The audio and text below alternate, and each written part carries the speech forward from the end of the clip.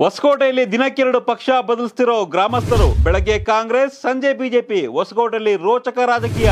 ನಾಯಕರಿಗೆ ನಿಯತ್ತಿಲ್ಲ. ನಾವು ಯಾವ ಲೆಕ್ಕ ಅಂತಿರೋ ಜನ. ಈ ಕಾರ್ಯಕ್ರಮದ ಪ್ರಾಯೋಜಕರು Jini millet health mix. Jini ಕುಡಿಯಿರಿ ಆರೋಗ್ಯವಾಗಿರಿ. ಈ ಕಾರ್ಯಕ್ರಮದ ಸಹ ಪ್ರಾಯೋಜಕರು ಸ್ಮಯಾ ಪ್ರಾಪರ್ಟೀಸ್. ಯೂಟ್ಯೂಬ್ನಲ್ಲಿ ಸಬ್ಸ್ಕ್ರೈಬ್ ಆಗಿ ಫೇಸ್ಬುಕ್ನಲ್ಲಿ ಫಾಲೋ ಮಾಡಿ ವೆಬ್ಸೈಟ್ ಲಾಗಿನ್ ಆಗಿ ಕಂಪ್ಲೀಟ್ ನ್ಯೂಸ್ ಓದಿ. ಎಸ್ ನಮಸ್ಕಾರ. ಕರ್ನಾಟಕ ಟಿವಿಗೆ ಸ್ವಾಗತ. ಹೊಸಕೋಟೆ ವಿಧಾನಸಭಾ ಕ್ಷೇತ್ರ. ನಾವು ಆಗಲೇ ಮಾತಾಡ್ತಿದ್ವಿ. ಸೊ ಮುಂದಿನ ಕ್ಷೇತ್ರ ಬರುತ್ತೆ, ಮಜಾ ಇದೆ ಸುದ್ದಿ ಅಂತ. ಹೊಸಕೋಟೆಯಲ್ಲಿ ಈಗ ಎಲ್ಲ ಕಡೆ ಕಾಮನ್ ಇರುತ್ತೆ, ಪಕ್ಷಾಂತರ ಪರ್ವ.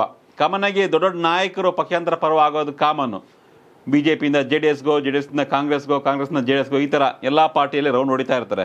ಜನ ಸಾಮಾನ್ಯ ಸ್ಟಿಕಾನ್ ಆಗಿರ್ತಾರೆ, ನಮ್ಮ ಲೀಡರ್ ಹೋಗಿ, ಹೋಗಿದ ಕಡೆ ನಾವು ಹೋಗಿ ಓಟ್ ಹಾಕ್ತೀವಿ ಆ ಥರ ಅಂತ. ಬಟ್ ಹೊಸಕೋಟೆಯಲ್ಲಿ ಏನಾಗ್ತಿದೆ ಅಂದರೆ, ಬೆಳಗ್ಗೆ ಶರತ್ ಬಚ್ಚೇಗೌಡರು ಕಾಂಗ್ರೆಸ್ ಅಭ್ಯರ್ಥಿ ಹೋಗಿ ಯಾವುದೋ ಒಂದು ಗ್ರಾಮದಲ್ಲಿ ನಾಲ್ಕೈದು ಮನೆಗಳು ಸೇರಿಸ್ಕೊಂಡು ಅವರು ಬಿ ಜೆ ಪಿಯಿಂದ ಕಾಂಗ್ರೆಸ್ ಸಪೋರ್ಟ್ ಮಾಡಿರ್ತಾರೆ.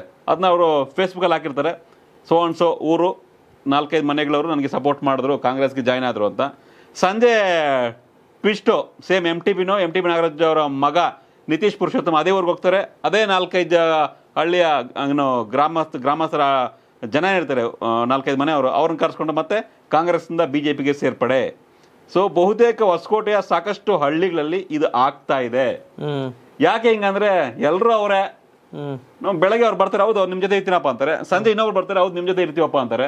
ಅವ್ರಿಗೆ ನಿಯತ್ತಿಲ್ಲ ಹಾಕ್ತಾರೆ? ಅದು ಗೊತ್ತಿಲ್ಲ. ಇವೆಲ್ಲ ಅಂಡರ್ ಕರೆಂಟ್ ವೋಟರ್ಸ್ ಗೊತ್ತಿಲ್ಲ ಏನ್ ಮಾಡ್ತಾರೆ ಅಂತ. ಅಂದ್ರೆ ಈಗ ಶರತ್ ಬಚ್ಚೇಗೌಡ ಆಗಿರ್ಬೋದು ಅಥವಾ ಎಂ ಟಿ ಬಿ ನಾಗರಾಜ್ ಆಗಿರ್ಬೋದು ಹೊಸಕೋಟೆ ಕ್ಷೇತ್ರಕ್ಕೆ ಸಂಬಂಧಪಟ್ಟಂತೆ. ಪಾರ್ಟಿ ಲೆಕ್ಕ ಇಲ್ಲ ಇಲ್ಲಿ. ವ್ಯಕ್ತಿಗಳ ಪ್ರತಿಷ್ಠೆಯ ಕಣ. ಸೊ ಇಬ್ಬರು ಯಾವ ಪಾರ್ಟಿಯಲ್ಲಿ ಇದ್ರು ಕೂಡ ಆಪೋಸಿಟ್ ಆಗಿರ್ತಾರೆ. ಸೊ ಜನ ಕೂಡ ಯಾರು ಪಾರ್ಟಿಗೆ ಹೆಚ್ಚಾಗಿ ವ್ಯಕ್ತಿಗಳನ್ನ ಬೆಂಬಲಿಸ್ತಾರೆ. ಬಟ್ ಏನ್ ವಿಚಿತ್ರ ಅಂದ್ರೆ ಈ ತರ ಓ ಅವ್ರು ಜಾಯ್ನ್ ಆಗ್ಬಿಟ್ರೆ ಐದು ಜನ ಐದ್ ಐದು ಕುಟುಂಬದವರು. ಸೇಮ್ ಅಲ್ಲಿಗೆ ಹೋಗ್ತಾರೆ ಇನ್ನೊಬ್ರು ನಾಯಕರು. ಸೇಮ್ ಹಿಂಗೆ ಬೆಳಗ್ಗೆ ಕಾಂಗ್ರೆಸ್ ಮತ್ತೆ ಸಂಜೆ ಬಿಜೆಪಿ. ನೆಕ್ಸ್ಟ್ ಇನ್ನೊಂದ್ ಕಡೆ ಬೆಳಗ್ಗೆ ಬಿಜೆಪಿ ಸಂಜೆ ಕಾಂಗ್ರೆಸ್ ಈ ತರ ಪಕ್ಷಾಂತರ ಪರ್ವ. ಏನಾದ್ರೂ ಆಗಿ ಕಣೆ. ಲಾಸ್ಟ್ ಡೇ ಯಾರು ಓಟ್ ಆಗ್ತಾನೆ ಅದು ತುಂಬಾ ಸಸ್ಪೆನ್ಸ್ ಆಗ್ತಾ ಇದೆ ಕಾಡ್ತಾ ಇದೆ ಹೊಸಕೋಟೆ ರೋಚಕ ರಾಜಕಾರಣದಲ್ಲಿ.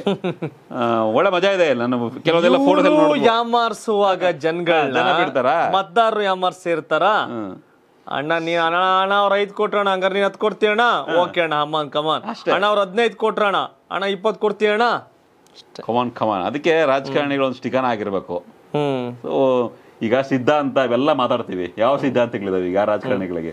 ಬೆಳಗ್ಗೆ ಒಂದು ಸಂಜೆ ಒಂದು ಮಾತಾಡ್ತಾರೆ. ಸಿದ್ಧಾಂತ ಇಲ್ಲ. ಎಲ್ಲ ಈ ಬಣ್ಣ ಹಚ್ಕೊಳ್ಳದೆ ನಾಟಕ ಮಾಡೋರು ಯಾರು ಅಂದ್ರೆ ಈ ರಾಜಕಾರಣಿಗಳು. ಹ್ಮ್.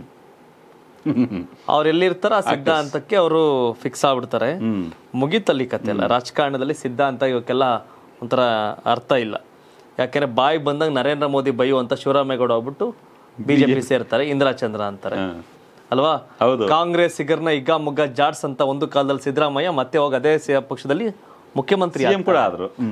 ಅದೇ ಡಿ ಕೆ ಶಿವಕುಮಾರ್ನ ಈಗ ಮುಗ್ಗ ಬೋಯುವಂತ ಒಂದೊಂದ್ಸಲ ಕುಮಾರಸ್ವಾಮಿ ಅವ್ರ ಸಹಕಾರದಲ್ಲಿ ಸಿಎಂ ಆಗ್ತಾರೆ. ಸಿಎಂ ಆಗ್ತಾರೆ.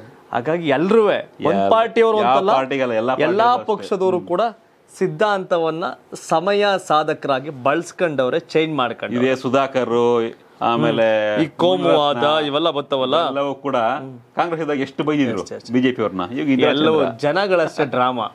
ಏನ್ ಗುರು ಇವ್ರು ಐದು ವರ್ಷದಿಂದ ಹಿಂಗ್ ಹೇಳಿ ಈಗ ಹಿಂಗ್ ಹೇಳ್ತಾರೆ. ಈಗ ಹಂಗಲ್ಲ. ಬೆಳಿಗ್ಗೆ ಒಂದ್ ಹೇಳ್ತಾರೆ ಸಂಜೆ ಸಂಜೆ ಒಂದ್ ಹೇಳ್ತಾರೆ. ಹಾಗಾಗಿ ರಾಜಕಾರಣದಲ್ಲಿ ಎಲ್ಲವೂ ಕೂಡ ಸಹಜ. ಇದನ್ನ ನೋಡಿ ಎಂಜಾಯ್ ಮಾಡಿ. ಆದ್ರೆ ಯಾರು ಈ ತರ ಊಸರೋಳಿ ತರ ಬಣ್ಣ ಬದಲಾಯಿಸ್ತಾರಲ್ಲ ಅಂತವ್ರ ನೋಡಿ ಪಾಠ ಕಲ್ಸಿ. ಒಳ್ಳೆ ಬುದ್ಧಿ ಕಲಿಸ್ಬೇಕಷ್ಟೇ. ಏನೇ ವೀಕ್ಷಕರೇ ನಿಮ್ ಪ್ರಕಾರ ಹೊಸಕೋಟೆಯಲ್ಲಿ ಯಾರು ಗೆಲ್ತಾರೆ? ಕಾಮೆಂಟ್ ಮಾಡಿ. ಮುಂದೆ ಯಾವ ಪಕ್ಷ ಅಧಿಕಾರಕ್ಕೆ ಬರ್ತಾರೆ ಯಾರು ಮುಖ್ಯಮಂತ್ರಿ ಆಗ್ತಾರೆ ತಿಳಿಸಿ ನಿಮ್ಮ ಕ್ಷೇತ್ರ ಯಾವುದು? ನಿಮ್ಮಲ್ಲಿ ಯಾರು ಸಿ ಎಂ ಎಲ್ ಎ ಆಗ್ತಾರೆ? ಕಾಮೆಂಟ್ ಮಾಡಿ ತಿಳಿಸಿ. ನಮ್ಮ ಫೈನಲ್ ಕಳಕಳಿ ಇದೆ. ಒಳ್ಳೆ ಅಭ್ಯರ್ಥಿಯನ್ನ ಚೂಸ್ ಮಾಡ್ಕೊಳ್ಳಿ.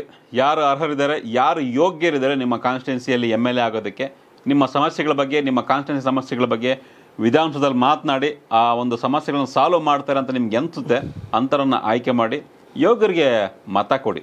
ಸೊ ಇದು ಅಯೋಗ್ಯರಿಗೆ ಒಟ್ಟಾಗಕ್ಕೆ ಹೋಗಬೇಡಿ ಹೋಗ್ಬೇಡಿ. ಯೋಗ್ಯರನ್ನ ಮಾತ್ರ ಆಯ್ಕೆ ಮಾಡಿ ಅವರ ಕ್ಯಾಂಡಿಡೇಟ್ಗಳ ಧರ್ಮ ಜಾತಿ ಪಕ್ಷ ನೋಡಿ ಓಟ್ ಹಾಕ್ಬೇಡಿ. ಯಾರು ಎಂ ಎಲ್ ಎ ಆಗ್ಲಿಕ್ಕೆ ಯೋಗ್ಯ ಅನ್ಸುತ್ತೆ ಅವ್ರಿಗೆ ಹಾಕಿ. ಯಾರು ನಿಮ್ಗೆ ಅವೈಲೇಬಲ್ ಇರ್ತಾರೆ ಯಾರು ಎಂ ಎಲ್ ಎ ಆಗಿ ನಿಮಗೆ ಸೇವೆ ಮಾಡ್ತಾರೆ ಅವ್ರನ್ನ ಆಯ್ಕೆ ಮಾಡಿ. ಮತದಾನ ಮಾಡಿ ಮತ ಮಾರಾಟ ಮಾಡ್ಕೋಬೇಡಿ. ಧನ್ಯವಾದ. ಇದು ಕರ್ನಾಟಕ ಟಿವಿ. ಕನ್ನಡಿಗರ ಧ್ವನಿ.